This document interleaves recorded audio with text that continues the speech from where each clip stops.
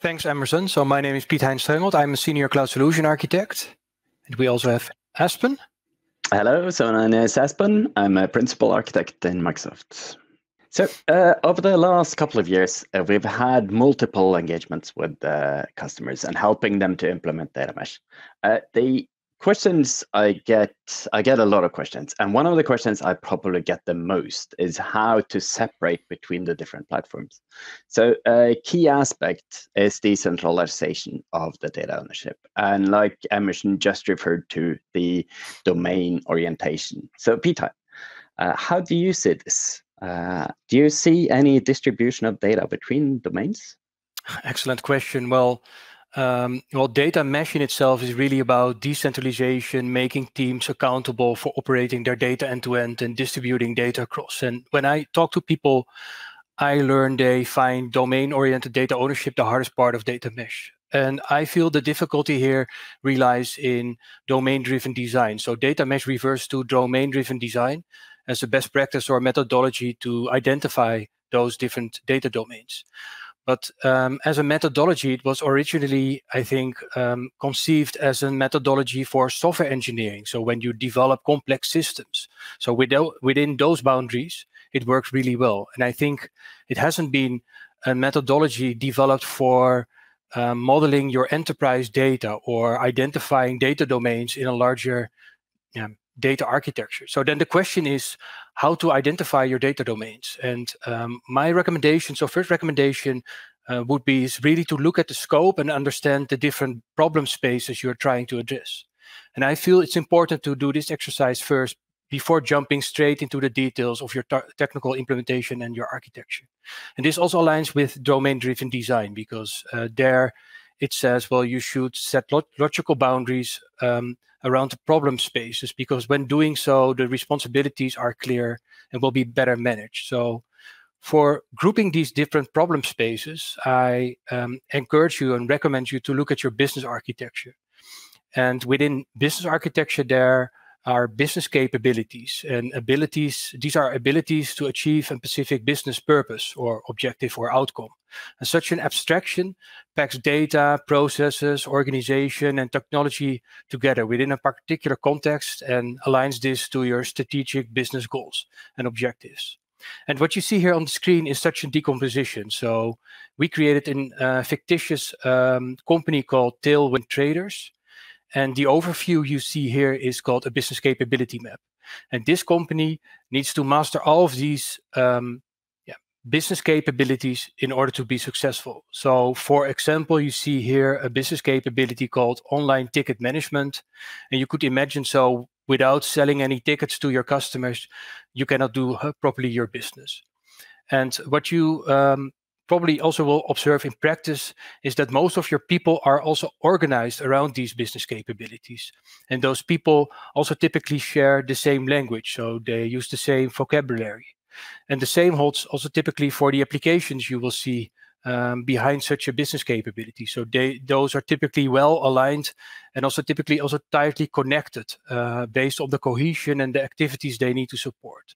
So therefore, coming back so to how to identify your data domains, I feel business capability mapping is a great starting point for identifying your data domains. Yes, you, you talk about the business capabilities, but data mesh refers to bounded context. Would you say that that's the same as the business capability? Not exactly. So, excellent question. Well, business capabilities and bounded context aren't exactly the same, but they are strongly related. So business capability is a bit more abstract. So um, you could either implement them once or multiple times. And when you start implementing, you will yeah, see the, the, the solution space and bounded contexts. There are for setting boundaries on such a solution uh, solution space. So the design of your systems and application and data. So it, things become much more concrete. And it's also the area where the alignment of focus of the solution space makes sense. And typically also you see, like I said before, you see high cohesion and strong alignment also in such a space. And to better manage your enterprise architecture, I would recommend uh, to think of aligning your business capabilities and your domains and your bounded contexts. This is no hard rule, but just a recommendation for you. Got it. Understood. Okay. Can we look at what this would look like in practice? Yeah, absolutely. So let me show the screen here. So what you see here on the screen are yeah, different domains and also the collaboration to, between those. So on the left, so let me use my pointer.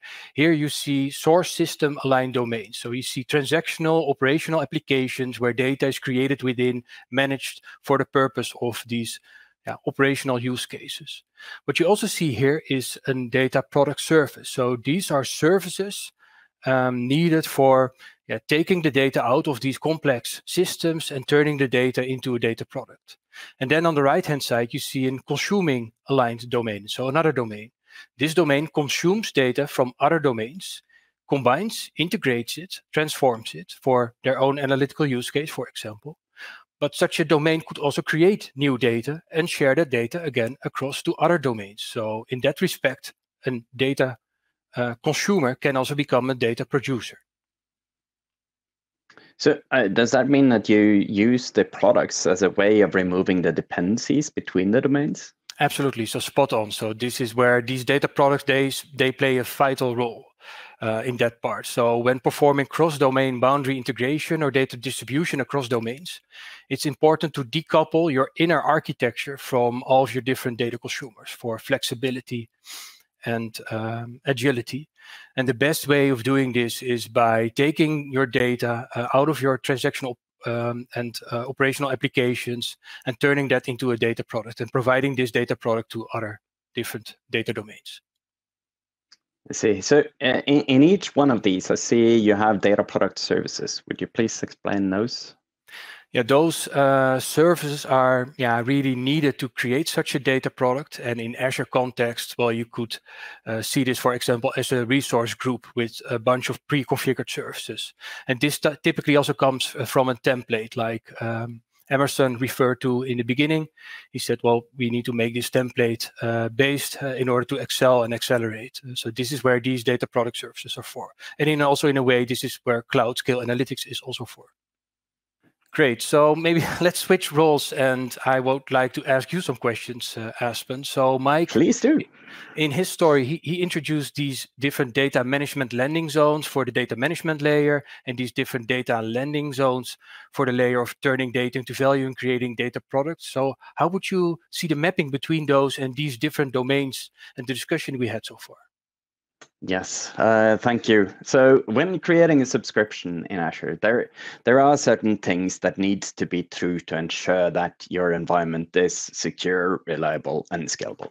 Like uh, as a as a company, you want to ensure that your teams are self-serviced.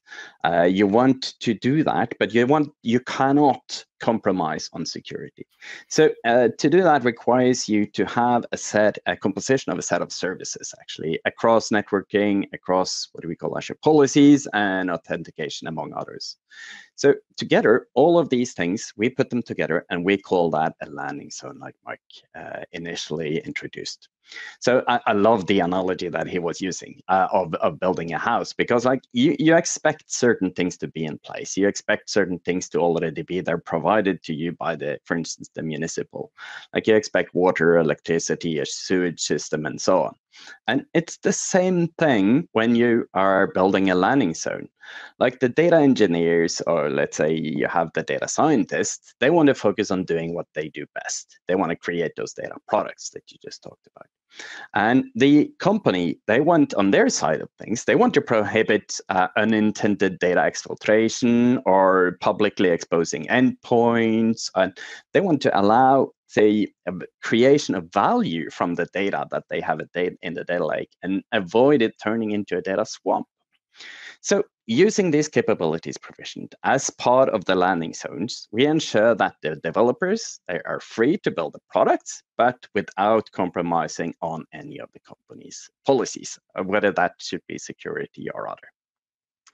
So uh, there, there's another saying that I like, uh, and it is they use the right tool for the right job. And that means going back to those teams, like sometimes when they build a product, they want to use a Spark pool.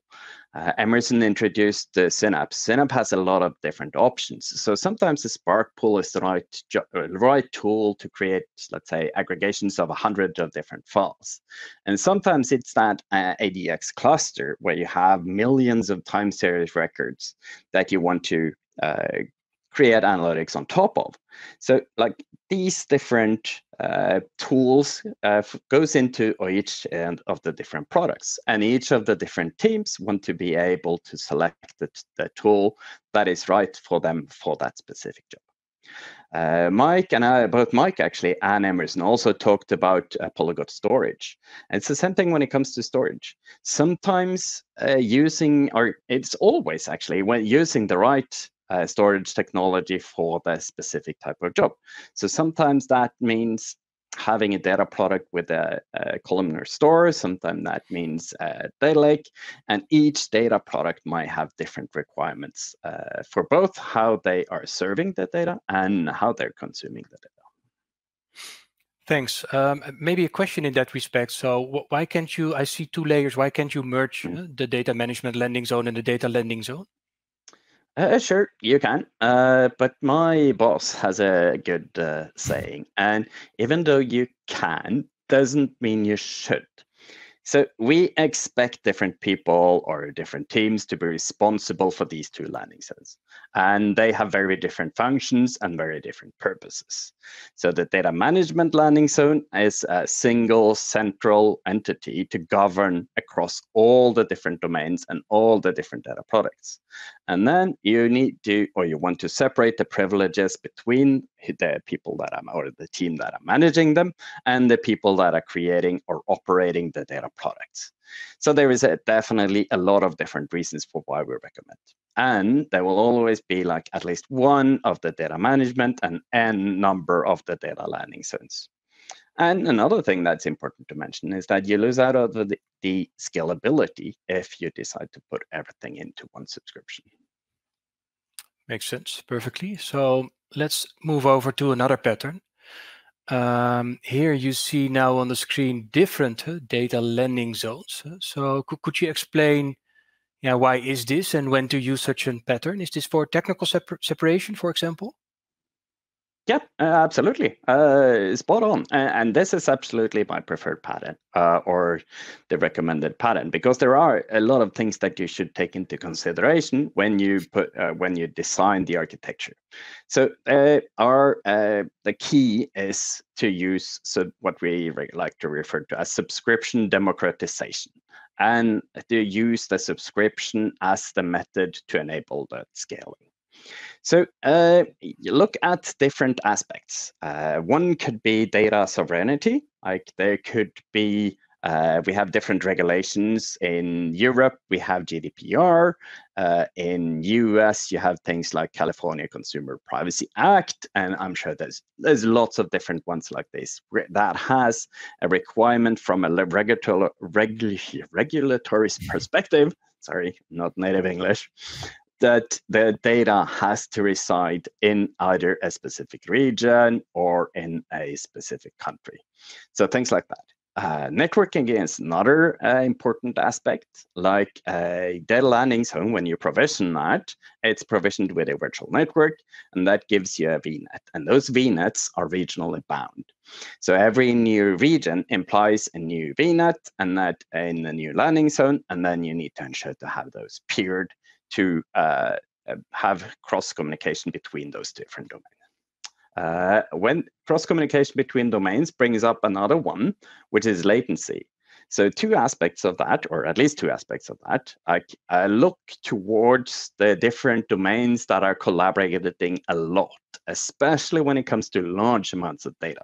Because as you know, if you take large amounts of data uh, across two different regions with some distance between, that will add latency. So that's something that you want to avoid.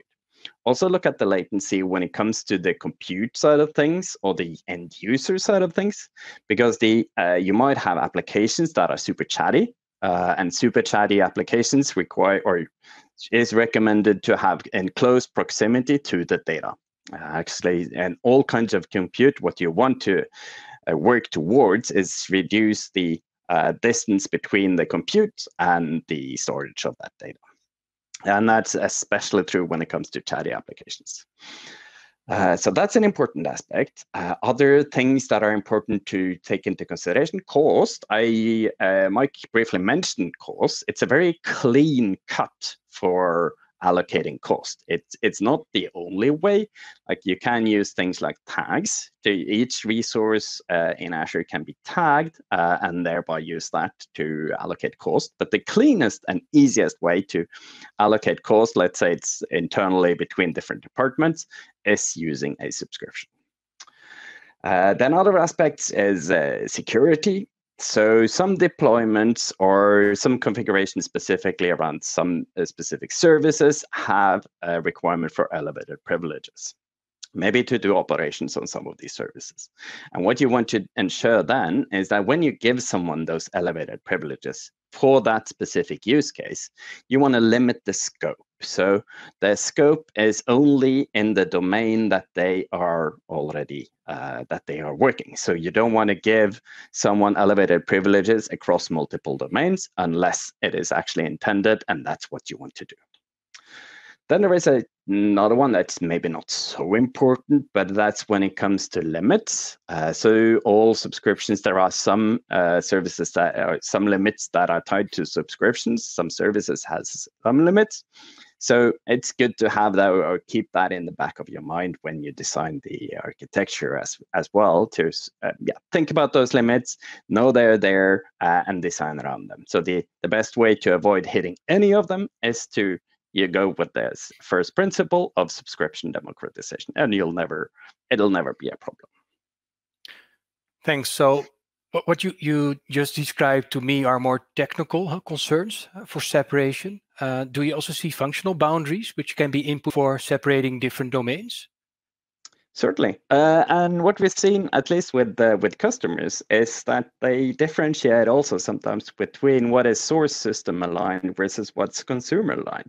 So that means they take everything that comes from a source system and tie those things together, and then look at what uh, the what what are the consumers of those uh, different uh, products, and then tie those things together. So that's another way of uh, doing it.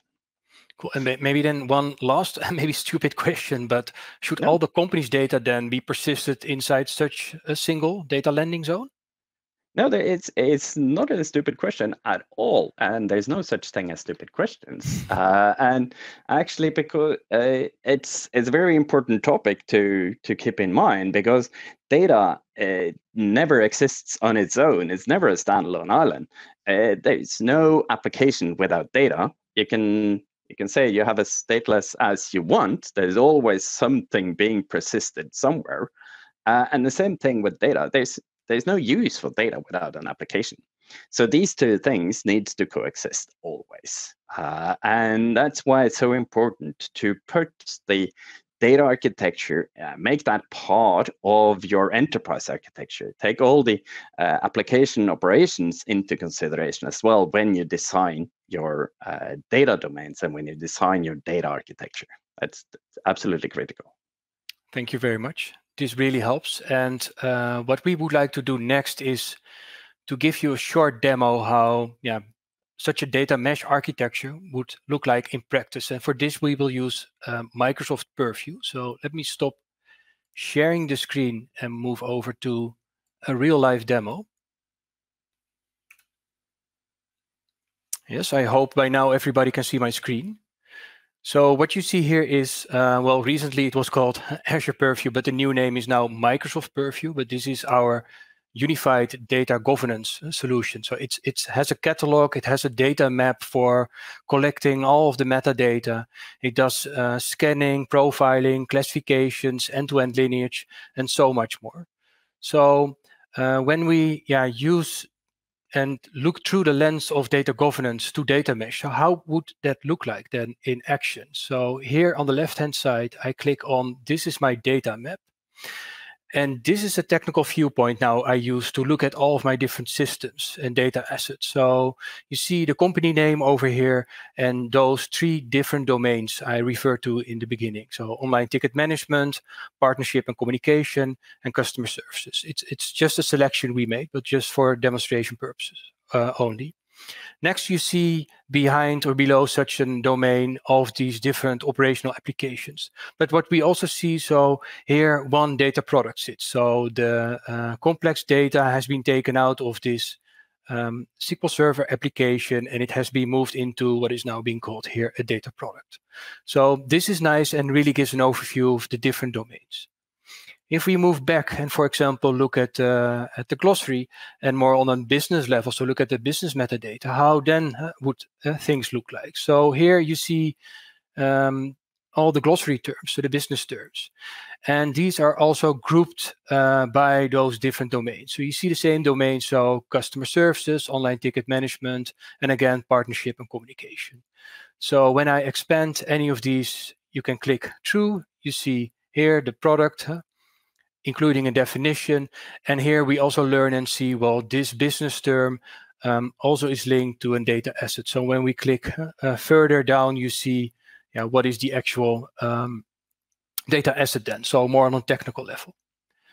If I move back and uh, would browse my assets again, and for example, would jump into online ticket management, we could scroll down here on the left hand side and look at the classifications. And here in this respect, so for example, I created a custom classification called data product. So when I would select this one, I would see all the data products. And here again, I also see one, this, this one has been certified. So we at least know it's in a good shape. And when I click further and I see the details, I would have hoped my uh, request data access button would here again. So when refreshing, so uh, when I click uh, through and I see this data products, I, I, could even here click on this request access button and start, um, yeah, asking so uh, for um, yeah accessing this this actual data product. So I could type in the reason why I would like to get access to this data product, and then uh, really a data uh, um, workflow will kick in and the data owner of this data product will receive a noti notification and he will see, well, this person then, in that case, uh, so myself will uh, request access to this data product uh, then and uh, could approve the data access. And then really truly behind the scenes, um, really the data access management will also be changed. So you could even manage data access from Purview itself. So build out your true data marketplace in that respect. So this brings me to the end uh, also of my demo. And now I would like to hand it over to um, Marvin and uh, Hamut. Thank you.